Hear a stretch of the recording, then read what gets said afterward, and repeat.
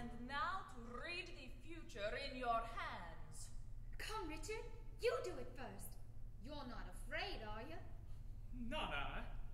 I see a brave heart, and a light heart, and a long struggle from humble beginnings.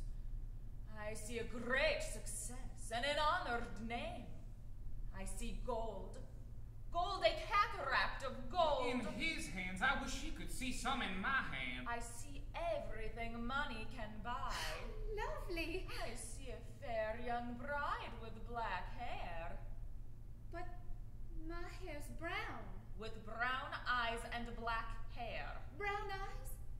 Black again? Gypsy, you're making a mistake. The Romany makes no mistake, miss. Why, there sits the maiden in the flesh. I to be Richard's bride? I? Alice, how ridiculous. Let me see your hand,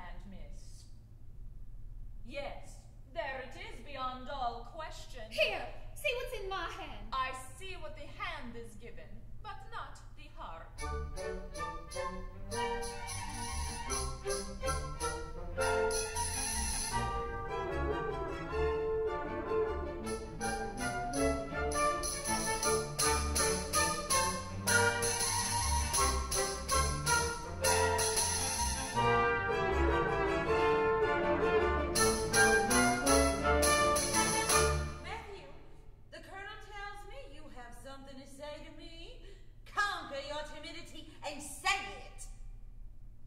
Well, I have honored you for your silence. While I was only a poor dependent, of course you could not speak. I can speak now. I've found my voice. What did you say while you were dependent? No, haven't you heard the news? Grandfather Van Dusen passed away last week. Uh, how, how horrible. he had a long life. Did the colonel know of this? Of course. What a beastly trick. Are you sure he's dead? Uh, reasonably sure. He was buried last Wednesday.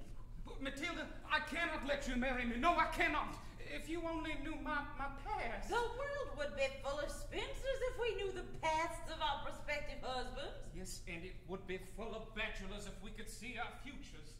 I can see mine. Oh, you impetuous boy!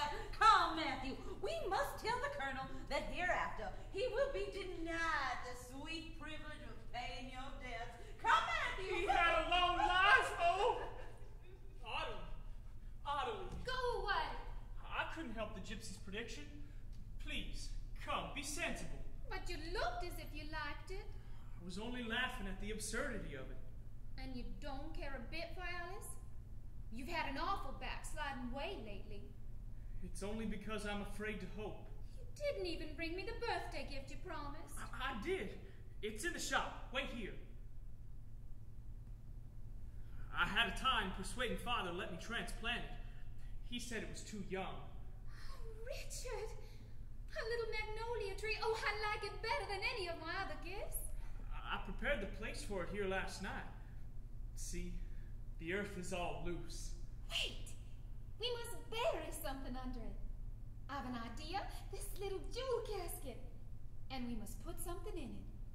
So that when long years from now, if our grandchildren may tear the tree up, they'll think of us and know how much we loved one another. What shall we put in it? Something very precious. Here's the little ring you gave me. Oh, and here's your curl. I've carried it in my pocket ever since the day you let me cut it off. Oh, and a blossom off the magnolia tree. And we'll write our names. Give me a piece of paper. Oh, look. There's just the thing. Oh, what a pretty blue paper. I'll write with my new gold pencil.